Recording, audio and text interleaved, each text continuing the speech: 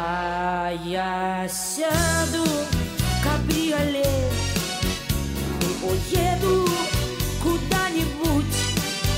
Если вспомнишь, меня забудь, а вернешься, меня